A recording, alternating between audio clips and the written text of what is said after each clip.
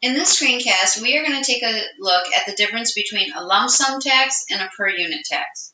We're going to understand which curves in a perfectly competitive graph are affected by a lump sum tax, and then we're also then going to look at the perfectly competitive graph and see which curves are affected by the per unit tax. In the end, we will also contrast the tax with the subsidy to see which curves on the graph are affected and in which way.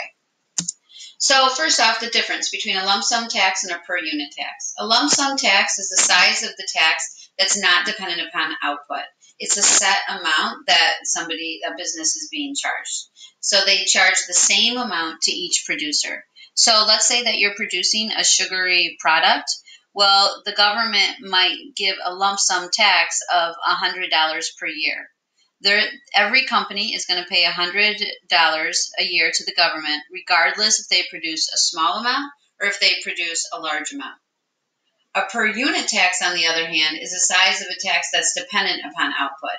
So the government's going to charge an amount on each unit produced. So instead of doing the $100 lump sum, they're going to do $1 per unit. And so the amount that you're going to be charged is going to be based upon the total number of products that you produce times a dollar. Um, one other thing is that the per unit tax, it can also be called an excise tax. Uh, and they mean the exact same thing. When we when you get into externalities, it's known as a Pigouvian tax, and so they all mean a per unit tax.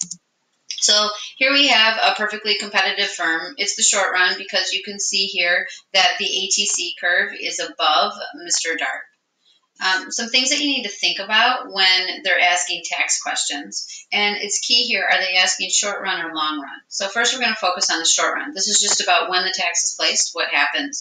And you need to think about what happens to the cost curves, meaning the AFC, the AVC, the ATC, and the marginal cost curve. You also need to think about if the marginal cost curve is affected, the profit maximizing quantity, because that uses the formula of MR equals MC. So on this graph here, MR equals MC, where the two curves intersect, and that gives you a quantity here at QF. So let's take a look first at that $100 lump sum tax. In the short run, we got to think about what cost curves are affected. It's a lump sum, and so that's a fixed cost. So the AFC is not on this graph, but the AFC would shift up because this is an extra fixed cost now that the company has to pay. Um, the AVC is not affected because it's a fixed cost. The ATC, remember, is AVC plus AFC. And so if the AFC is shifting up, the ATC is also shifting up. Remember that the marginal cost is uh, derived from the change in variable cost, and so the marginal cost is not affected by the ATC. So it's really uh, about by the um, variable cost. Sorry. So this is really about the ATC when we're talking about changes. Um, the per unit tax, on the other hand, in the short run, has a few more cost curves that we need to think about. The per unit is that dollar that's placed on each quantity. And so the AFC is not affected, but the AVC would shift up because this would be a variable cost. It's dependent upon output. The ATC is the AVC plus the AFC, and so the ATC will also shift up. The marginal cost is equal to the change in total cost divided by the change in quantity, or you could say the marginal cost equals the change in variable cost. Either way, you're going to see that your marginal cost curve is going to shift up. Well, remember, if the marginal cost curve shifts up, that's going to affect our profit maximizing quantity here of MR equals MC. So you have a new intersection of this MC2 with Mr. Darp, which hasn't changed, and that's going to give you then a Q2 that is less than QF. Okay, so what happens then in the long run? So what we just went through when you actually place the tax on, that's a short run. So now we're looking at what, what is the result in the long run from a lump sum tax? So remember, the long run is about that ease of entry and exit into the industry. And in this case here, I mean, they were already suffering an economic loss because you go where MR equals MC, take it to the ATC, so price minus ATC, which is higher, times quantity, and this is going to be their economic loss. But now they have the same uh, profit maximizing output, and you're taking it up to the ATC, and this is the ATC2, and now they have an even larger economic loss.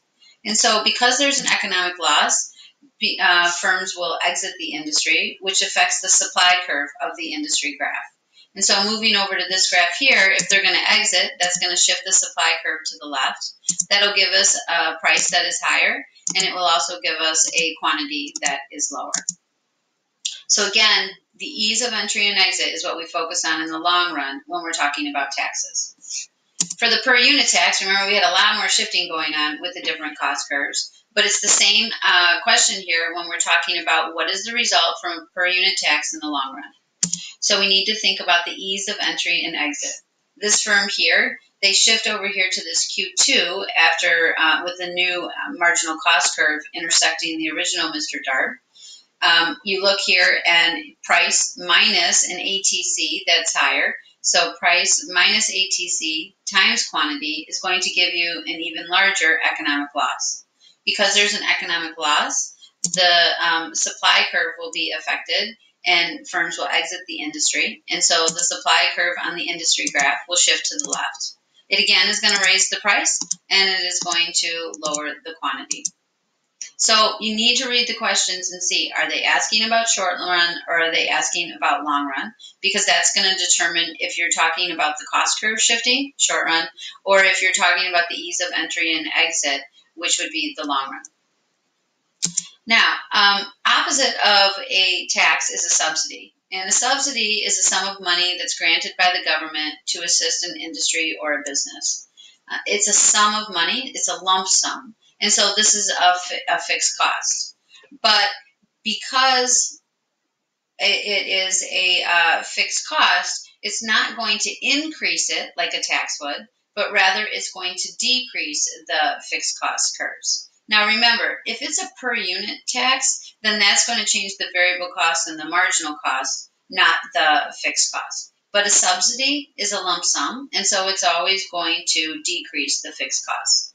So what does that mean? That means then that for a tax, I don't care if the tax is a lump sum or a per unit, either one is going to increase the ATC. A subsidy will decrease the ATC. So when you think back to those graphs and about how what happens then in the with regard to um, output, which is nothing because the marginal cost curve doesn't change. But in the long run, what happens then? It depending upon if this creates a profit or a loss, then you got to think about firms entering and exiting the industry.